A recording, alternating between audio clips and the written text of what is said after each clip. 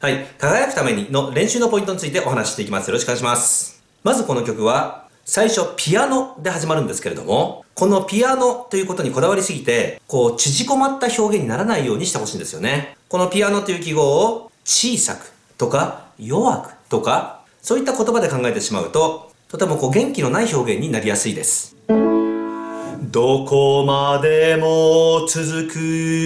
道を果てしないこの道をというこの一行でしっかりとこの曲の世界観を作ってこの曲の風景登場人物の気持ちを客席にその言葉がしっかりと届くように小さくとか弱くではなく厚みのあるようなどこまでも続く道をと言葉もはっきり聞き取れるように最初始めてもらいたいなと思います。もちろんここはどこまでも続く道をとかそういうガンガン声を出す部分ではないんですけれども言葉と気持ちを客席の一番後ろ一番端っこの人にまで届けると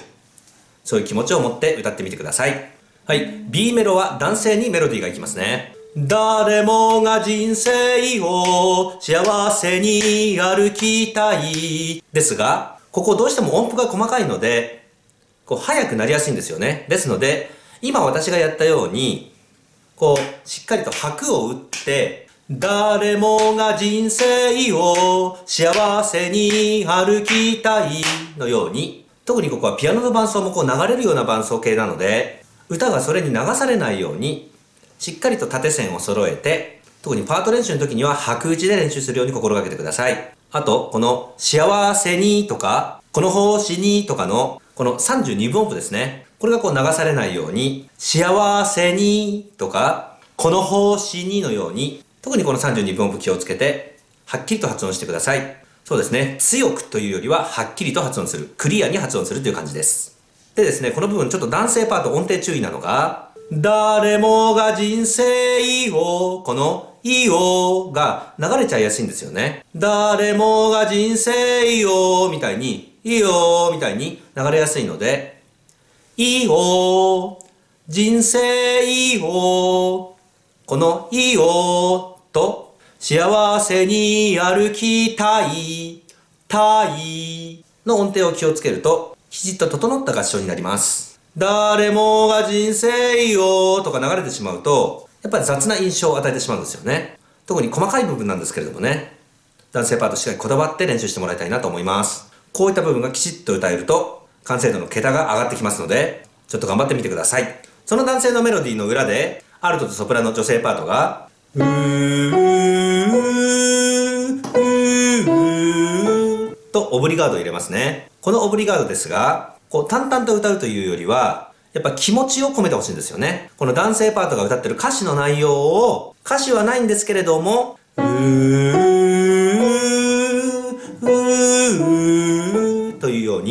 っかりその気持ちを乗せてほしいんですけれども、その時に、このスラーの記号ですね。この記号の、このイメージ通りに歌ってみると、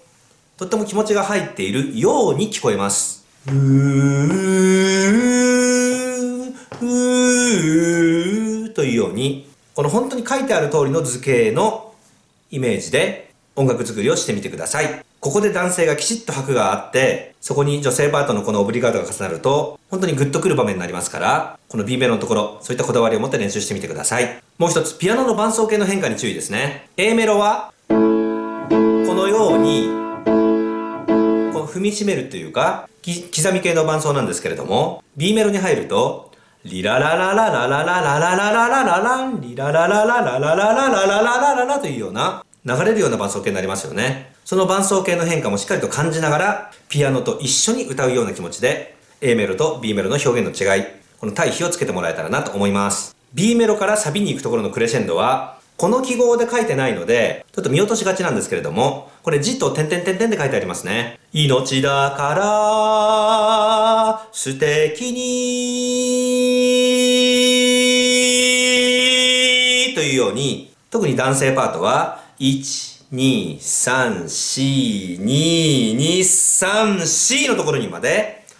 こう減速しないで、サビに向かって突っ込んでいくようなちょっと勢いを持ってサビに行けるように、クレセンドをしっかりと加速感を持って、クライマックスに向けて気持ちも高めて、フォルテに入れるようにしてもらいたいなと思います。はい、サビの部分ですが、この曲はシンコペーションとリズムを多用してます。シンコペーションというのは、タータータッタタというような、拍にはまったリズムではなくて、たーたたたたたたたとか、たたたたたたみたいな、こう跳ねるようなリズムですね。特にこのサビの部分は、そのシンコペーションが効果的に使われてますので、これ揃わないと、非常にバタバタした、こう、不揃いな印象を与えてしまうんですよね。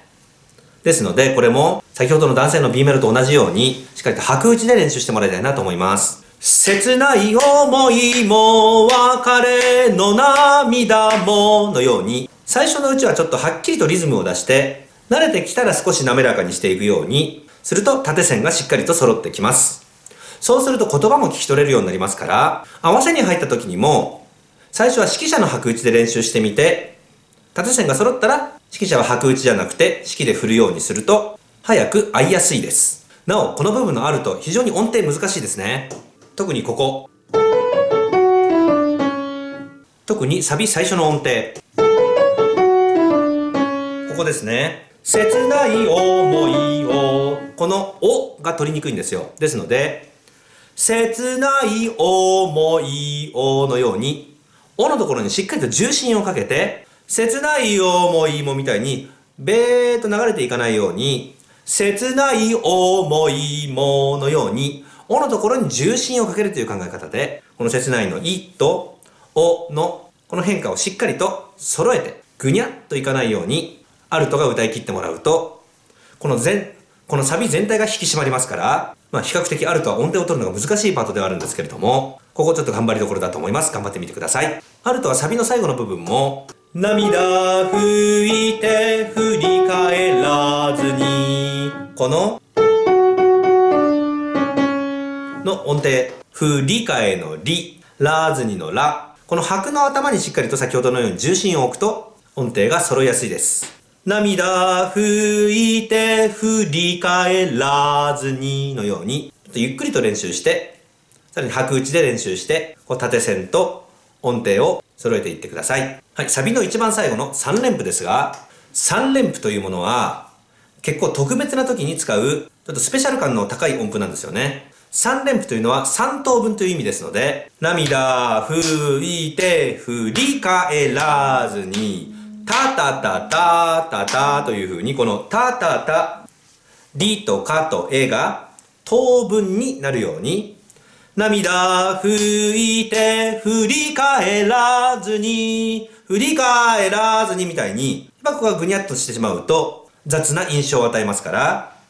涙拭いて振り返らずに、振り返らずに、振り返らずに、こう3連符をピシッと決めてください。で、1番括弧の最後の音は、振り返らずに、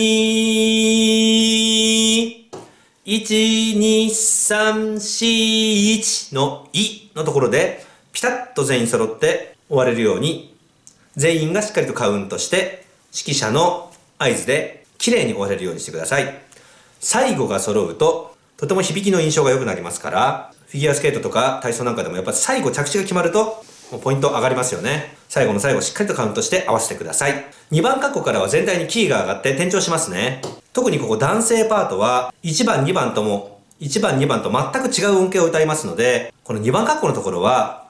男性パートしっかりと時間をかけて念入りに練習してほしいなと思います。どうしても合唱練習というと最初からこう練習していくじゃないですか。そうすると最後のあたりって練習時間も回数も薄くなりがちなんですよね。まあ最初から練習始めて、最後まで音取りが通ったら、ちょっと最後から始めてみる練習やってみると、曲が作りやすいです。で、今日パート練習10分やるよ、15分やるよって言ったら、まず2番カッコの練習から始めて、2番カッコ5分から10分くらいかけて練習したら、最初から歌うようにしていくと、この2番カッコの1番のクライマックスのところがしっかりと盛り上がるような